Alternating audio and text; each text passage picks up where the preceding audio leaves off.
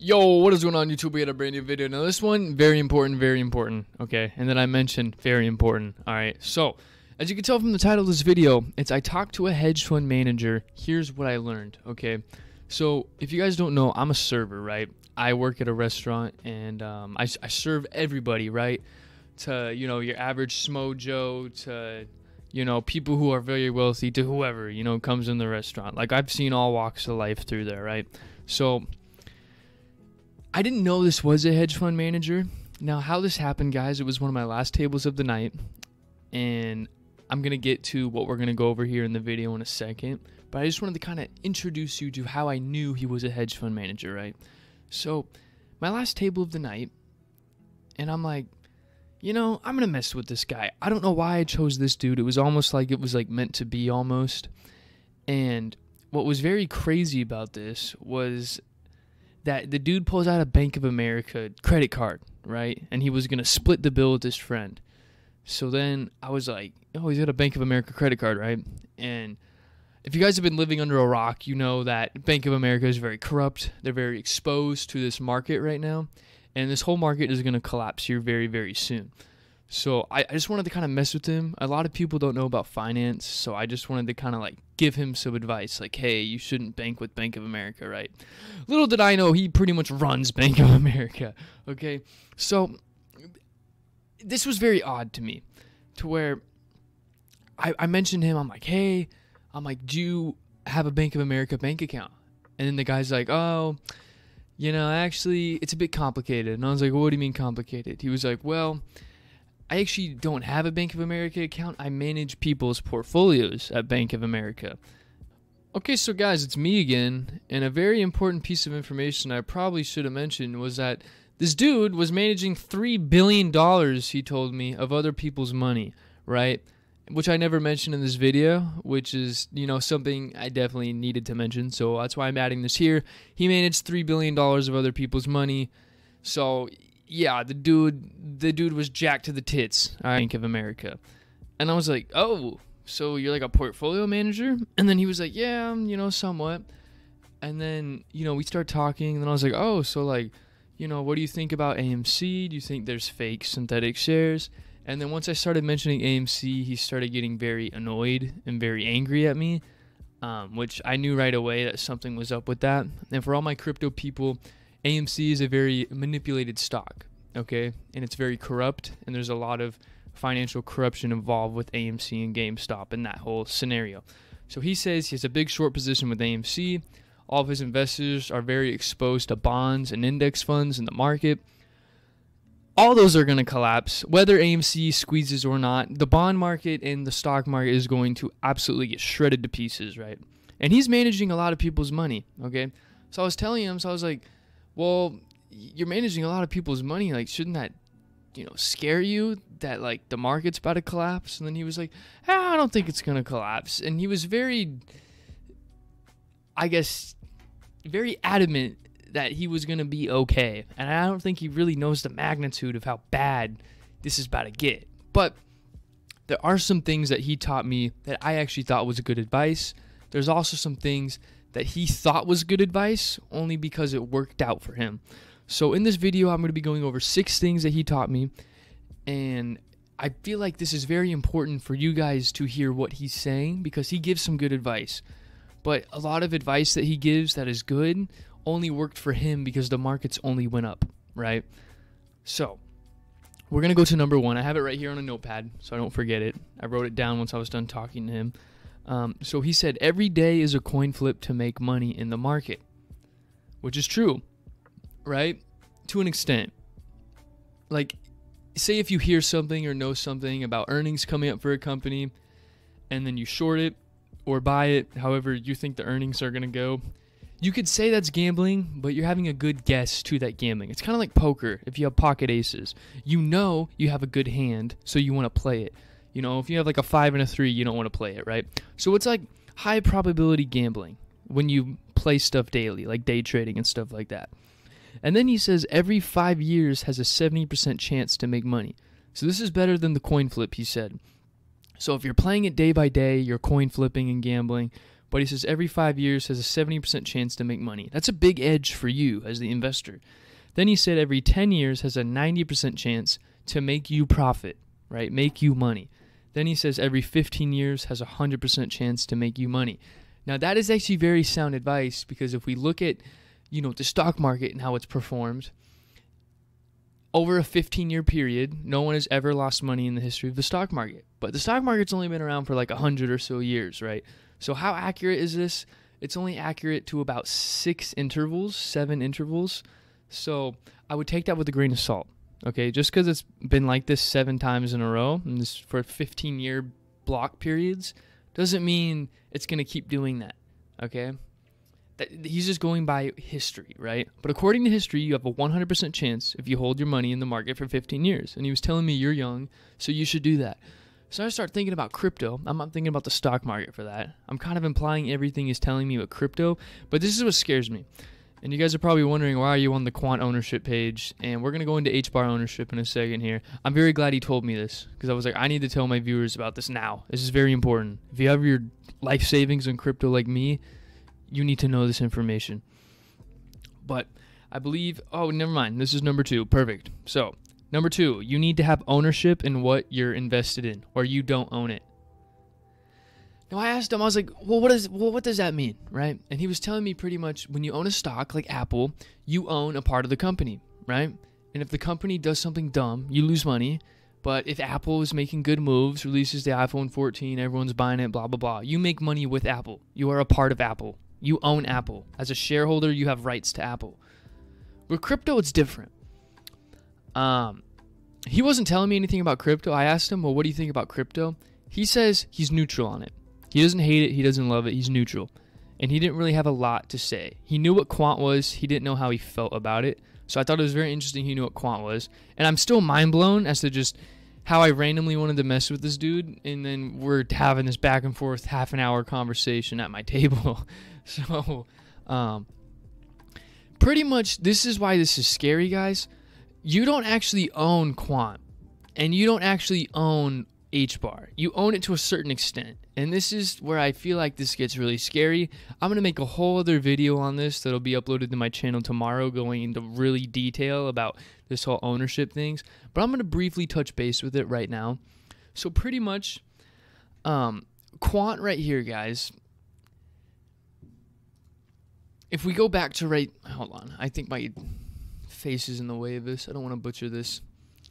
So, institutional holders can own million shares of Quant, and when they decide to sell, it says the crypto coin will go down. That's what it was saying, okay? And you could find all this info right here on Macroaxis. I will leave a link for this in the description, okay? But there's many types of institutional investors, it says. Banks, hedge funds, insurance companies, pension plans. One of the main advantages they have over retail investors is the fees paid for trades. As they are building in large quantities, they can manage their costs more effectively. Now, that doesn't really matter in the long term, okay? But this is what matters.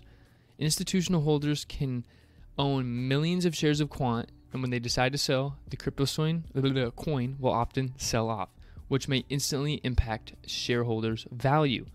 So traders who get in early near the beginning of institutional investors' buying cycle could potentially generate profits. Now, again, you don't really own quants. You're not a part of the quant project, I guess. You don't have ownership of it, but you have ownership of I guess the shares of Quant. So these institutions could just dump on you, which I guess is true. It could happen in the stock market, but the ownership of crypto is very different from how it is from a stock.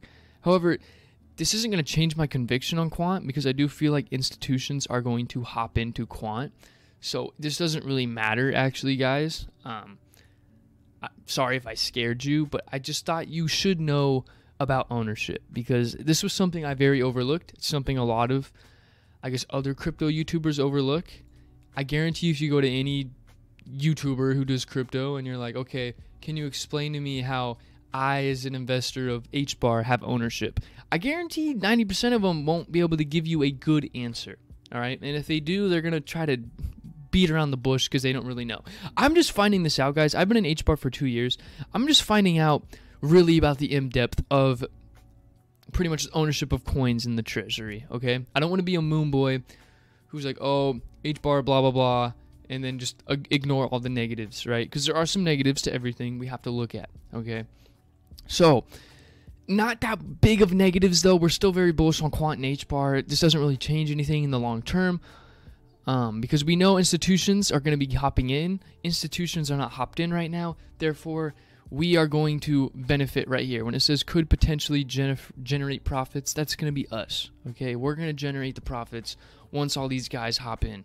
All right, for the next bull cycle. I will be selling probably half of everything in like the next bull run, which I believe is coming 2025, 2026, whoever long we take to recover from the incoming financial crisis. Okay, now I will touch more base on this in another video, but this is just something to know. Also, I'm going to summarize the whole HBAR coin treasury thing, where pretty much all 36 count or 39 council members they split some of the HBAR that's kept in the treasury, and then once their time is up, they take the money back, give it to the new person in the governance. Um, so yeah, I know that probably didn't make a lot of sense. I'll leave this here in case you don't want to wait for my video explaining this. I'll leave links to these all down below. I just didn't want to make this video that long, so we're going to number three now. You have to trade with no emotion. This is pretty straightforward. I've mentioned this a lot on my channel. You just cannot trade with emotion. Let me try to get my uh, dude back up here. There we go. So you can't trade with emotion because once you start trading with emotion, then uh, you're going to make bad plays. Okay?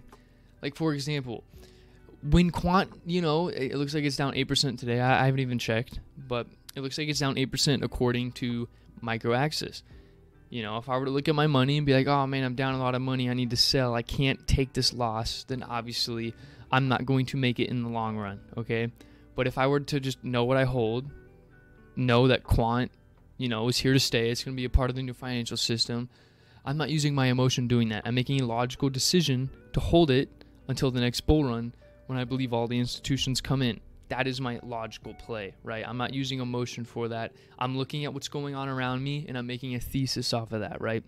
So that's something very important that you guys should know. Never use emotions on trade. Only go by what you see and what makes sense to you. That's not using emotion, all right? So, number four, he mentions don't go by what you see online or hear for a prediction or where an investment is going use technical analysis. It never lies and has emotion. Okay? Now, pretty much what he's saying is where you hear someone go XRP to $1,000. There's nothing to back that. It's just a bunch of people who are saying that, but then someone looks at it online, they're like, XRP to $1,000? I'm buying XRP. Horrible decision, right? You shouldn't just be buying XRP because you hear someone go, it's going to $1,000, right? You should be looking into what XRP is doing who is trying to build on XRP, what XRP's situation is, and then making a decision based off of that. Because their financials and what they're doing doesn't lie. Like for example with HBAR, right? Like if someone's like HBAR's going to a thousand dollars, I'm gonna buy. You shouldn't buy it because someone said it's going to a thousand dollars. You should buy it because Google, IBM, LG, Boeing, multiple banks are building on Hedera. That's why you should be buying it, right? That's a decision made off what I'm looking at, not because what someone's told me, right? So you got to do everything yourself. Okay, you got to deep dive yourself. Very important, all right? Now, I know on my channel I have a lot of price predictions, this and that. Um, I do believe in those price predictions, though. It's not much of like a clickbait thing. I genuinely believe Quant's going to $100,000. I genuinely believe that. I genuinely believe HBAR is going to $100. I genuinely believe these things, right?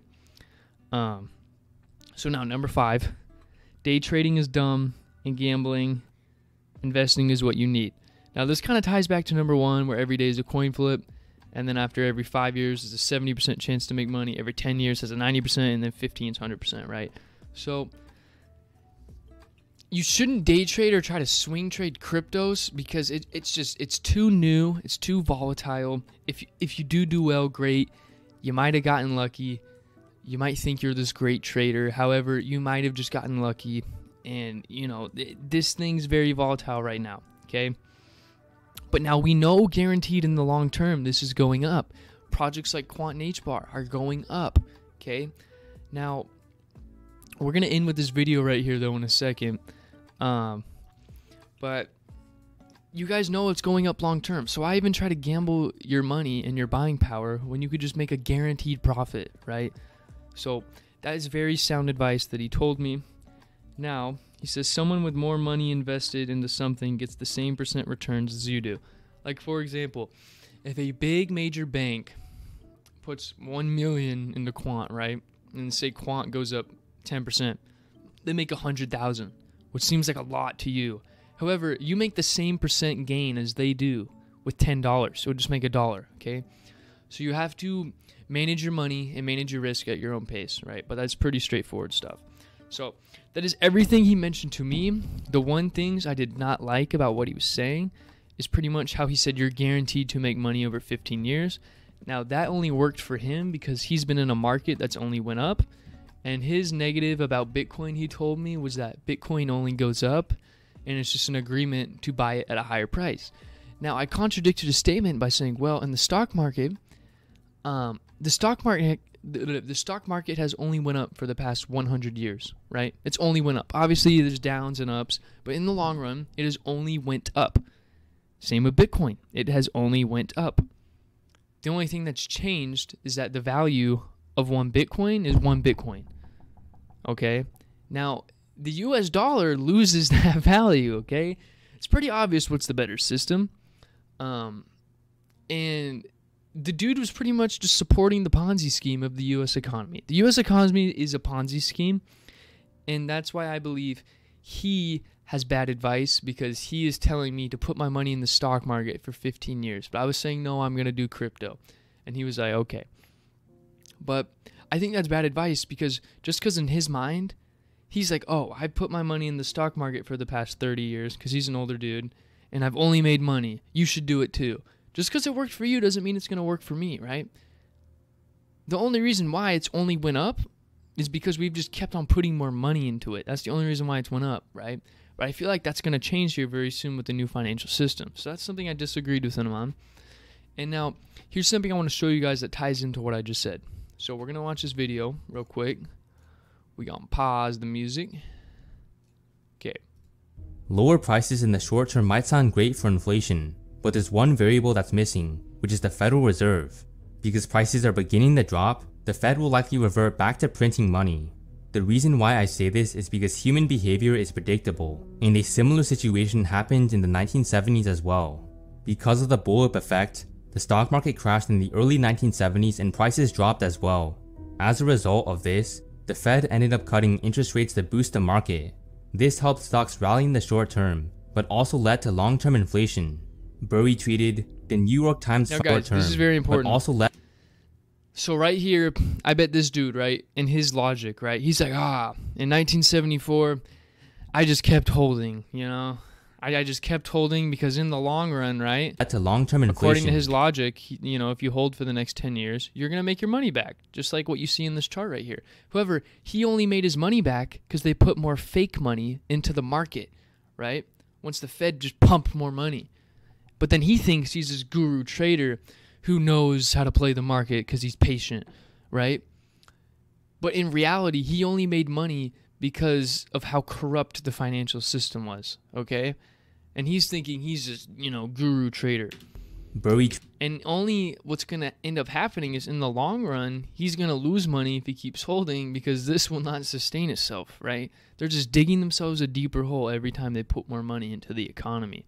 So, that is a very crucial piece of information for you. Tweeted the New York Times front page a day after the Dow bottom on just 3% in six period in US history. Yep, All of that's just scratching the surface. Government leaders have been actively insider trading behind the scenes. Yep, that's pretty much it, guys. I'm going to leave a link to this video too. This video is very informative. You need to watch this as well. But guys, that's pretty much it. That's all I got for you today. I will be making videos about ownership and how that works with the cryptos. I wouldn't worry about it too much.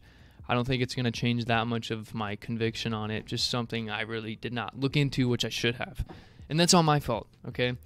But pretty much, we're still good, guys. And, uh, you know, just keep studying, keep researching in these markets. And thank